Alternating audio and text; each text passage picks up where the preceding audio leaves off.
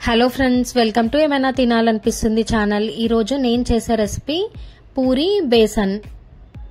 పూరీలు నేను చెప్పే విధంగా చేయండి. అస్సలు ఆయిల్ పట్టుకోకుండా చాలా బాగుంటాయి.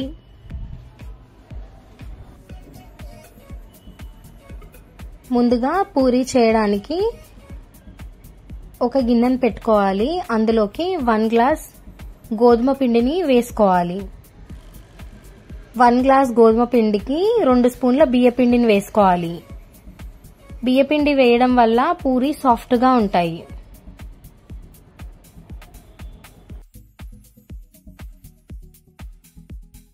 ఇప్పుడు కొద్దిగా ఉప్పు వేసుకోవాలి. కొంచెం ఆయిల్ వేసుకోవాలి. ఆయిల్ అంతా పిండిలోకి కలిసిపోయేలాగా కలుపుకోవాలి. కొద్ది కొద్దిగా వాటర్ వేసుకుంటూ పిండిని గట్టిగా కలుపుకోవాలి.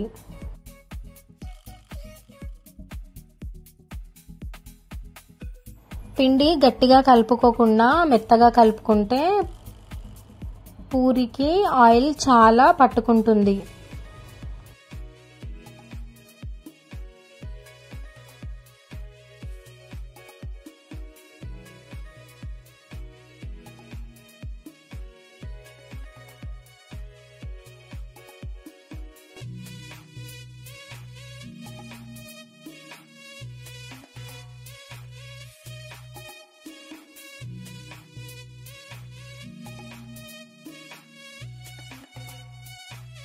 ఈ విధంగా గట్టిగా కలుపుకోవాలి. ఇట్లా కలుపుకున్న తర్వాత దీన్ని ఫిఫ్టీన్ మినిట్స్ వరకు నాననివ్వాలి.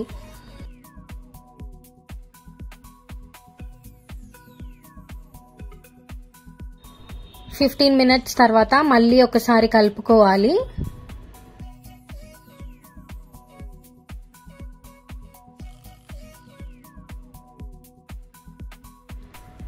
ఇట్లా కలుపుకొని చిన్న చిన్న ఉండల్లాగా చేసుకోవాలి.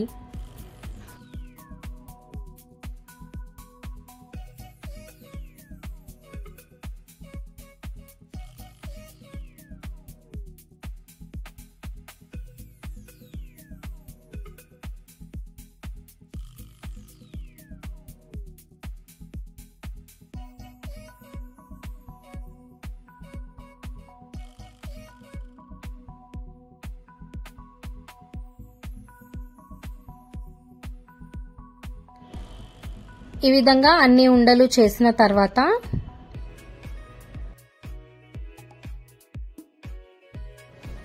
ఒక్కొక్క ఉండను తీసుకొని పొడిపిండి వేసుకుంటూ పూరిలాగా ఒత్తుకోవాలి.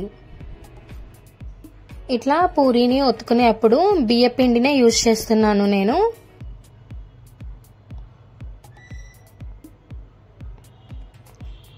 పూరి మరీ పల్చగా ఒత్తుకుంటే పాపడాల్లాగా ఉంటాయి. కొద్దిగా మందంగానే ఒత్తుకోవాలి అప్పుడే పూరి పొంగుతుంది.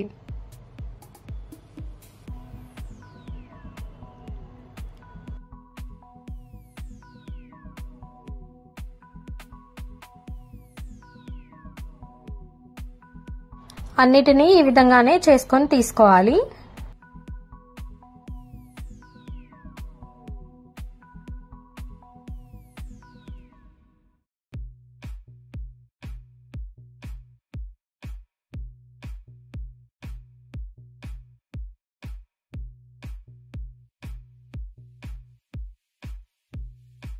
ఇప్పుడు ఒక పాన్ పెట్టుకొని డీప్ ఫ్రైకి సరిపడా ఆయిల్ వేసుకోవాలి. ఆయిల్ బాగా వేడైన తర్వాతనే పూరిని వేసుకొని వేయించుకోవాలి. లేదంటే పూరి పొంగదు.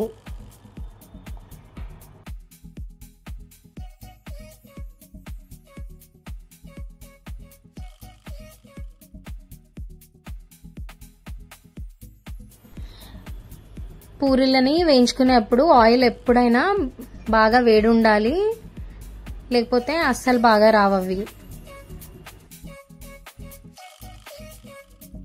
చూడండి ఎంత బాగా పొంగిందో. అన్నిటినీ ఈ విధంగానే చేసుకొని తీసుకోవాలి.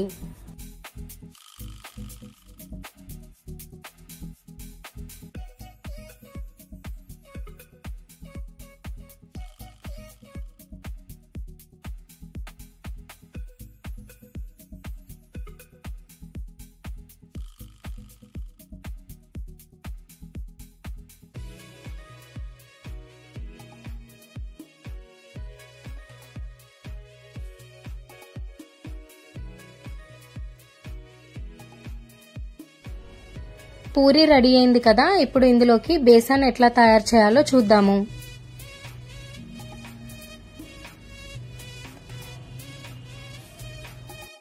ఇప్పుడు బేసన్ చేయడానికి ఒక గిన్నె పెట్టుకోవాలి అందులోకి వన్ కప్ శనగపిండిని వేసుకోవాలి.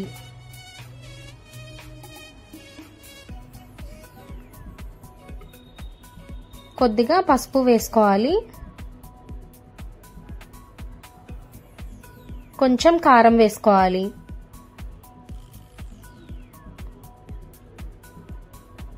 రుచికి సరిపడా ఉప్పు వేసుకోవాలి.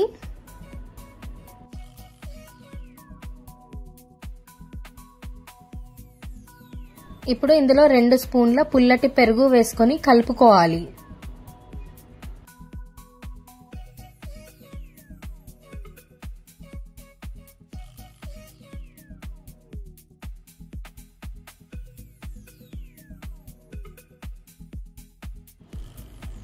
ఇట్లా కలుపుకున్న తర్వాత దీంట్లో వాటర్ వేసుకొని కలుపుకోవాలి. ఉండలేం లేకుండా కలుపుకోవాలి.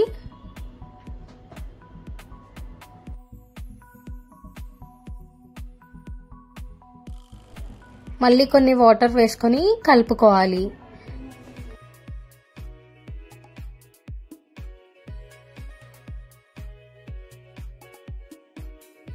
దోసపిండి కన్సిస్టెన్సీ కన్నా పల్చగా ఉండాలి. చూడండి వీడియోలో ఏం చూపించే విధంగా ఉండాలి.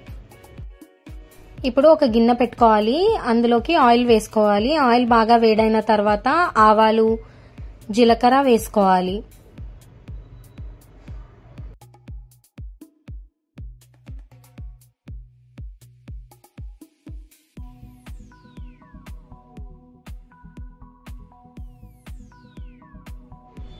ఆవాలు జీలకర్ర వేసుకున్న తర్వాత కారానికి సరిపడా పచ్చిమిర్చి వేసుకోవాలి. ముందుగా మనం కలిపేటప్పుడు పిండిలో కొద్దిగా కారం వేసాం కదా పచ్చిమిర్చి చూసుకొని వేసుకోవాలి. కట్ చేసుకున్న ఆనియన్ వేసుకొని ఫ్రై చేసుకోవాలి.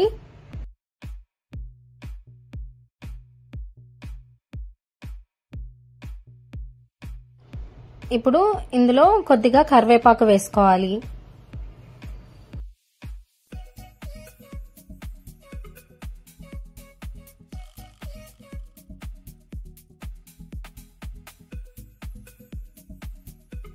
ఆలూని కూడా వేసుకోవాలి.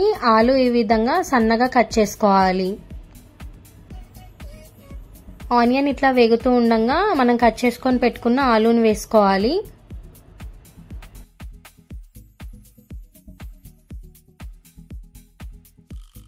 ఆలు ఉడుకుతుండగా కొన్ని మిల్ మేకర్స్ తీసుకొని వాటర్ వేసుకొని ఒకసారి వాష్ చేసుకోవాలి.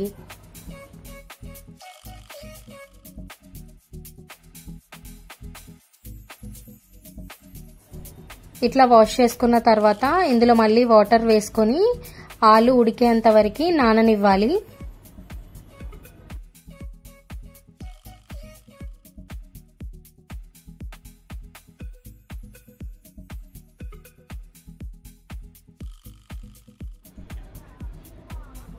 ఆలు ఇట్లా ఉడికిన తర్వాత మనం నానబెట్టుకున్న మిల్ మేకర్లను కూడా వేసుకోవాలి.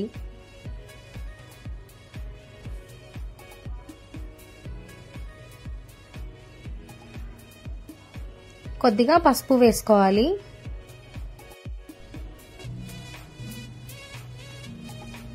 దీనిపైన ఒక ప్లేట్ పెట్టాలి. అప్పుడు త్వరగా ఉడుకుతాయి.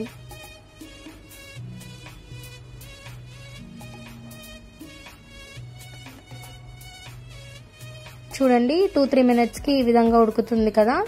అప్పుడు ముందుగా మనం కలిపి పెట్టుకున్న శనగపిండి అదంతా మిశ్రమం ఉంది కదా ఇందులో వేసుకొని కలుపుకోవాలి. కొన్ని వాటర్ పోసుకొని ఇదంతా ఉడికించుకోవాలి.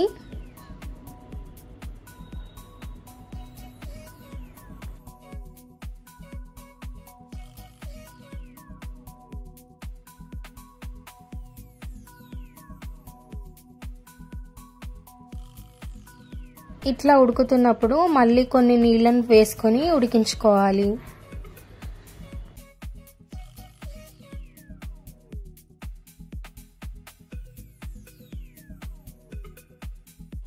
ఇది చేసేటప్పుడు వాటర్ కొన్ని ఎక్కువైనా ప్రాబ్లం ఏం లేదు. ఎందుకంటే చల్లారిన తర్వాత గట్టిగా అవుతుంది.